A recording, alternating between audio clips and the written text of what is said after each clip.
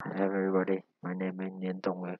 Uh, I'm a PhD student in SKKU. Today I will make a presentation about the nanoparticle and the co-catalytic for the improvement efficiency of the photoanode.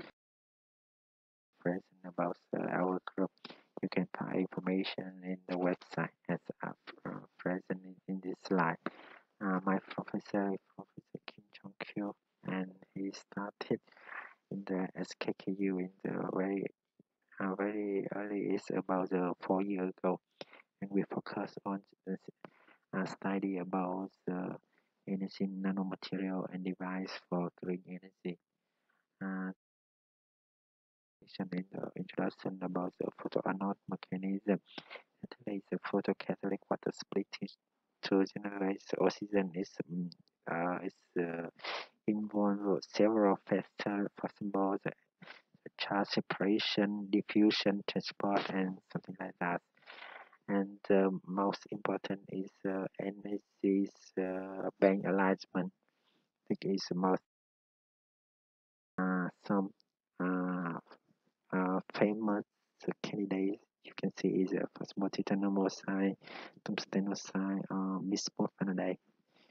And the first idea we generate is the core cells missing carbon quantum a co-catalyst for the behavior for the photoanode to improving the charge transfer. Uh, yes, the performance after the uh, introduction missing carbon core cell is improving the current density in the bout of water and how scaling the improvement in the transfer and IPCE.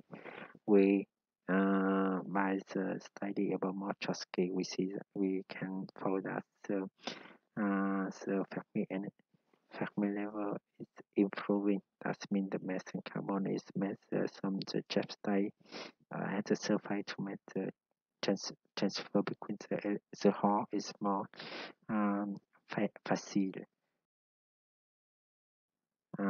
Also, we generate the, the two electrode to see the performance of the water splitting. Yes, it's good. It's published in the ACS Nano with the Professor Parker group. The second idea, I synthesize the nickel phosphide nanosphere and, and drop on the as the same photoanode. Uh, yes, uh, bismuth vanadate performance is also is improved. Italy is still in the it's far away the city factory but it, I, I believe that it's still and more and more is improvement. Thank you for listening.